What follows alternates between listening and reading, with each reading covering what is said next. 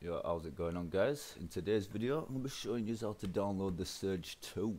It was only released yesterday, and it's been cracked already. First thing you're going to want to do guys, is follow the link below to my Mega. I'll be updating the link as soon as Repack adds the game to their site. Once your file's downloaded guys, you're going to have this here, this folder. You want to right click it, go to Extract Surge. Uh, I'll leave a link to WinRAR in the description if you don't already have it installed, so you can unpack it once it's unpacked, you're to have this here. Double click. Uh, install DirectX and the all-in-one runtime by Repack Games if you haven't already. Go into the Surge folder.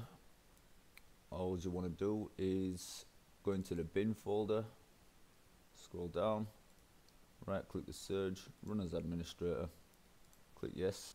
And there you have it guys.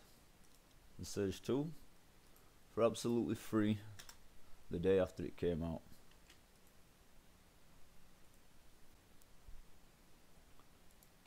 If you enjoyed this video guys, like always, drop a like. Uh, don't forget to subscribe. Any requests, just let me know. I'll be, I'll do my best to get them to you. Don't forget to check out repackgames.com. Uh, join their Discord. Any problems with any games in the future or anything like that, just message me or join Discord and someone will always help you out in there. I'll catch you on the next one, guys. Yeet.